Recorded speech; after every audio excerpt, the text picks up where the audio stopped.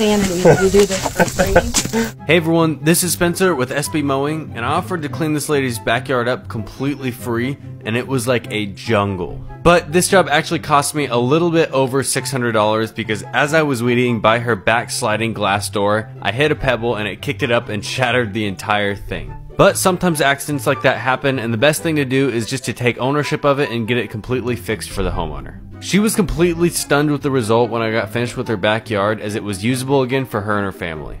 So if you want to go and see the full transformation and some awesome before and after pictures, go click the link on my profile. And if you haven't done so yet, click that follow button and like this video as it's the best way to support this work that I do.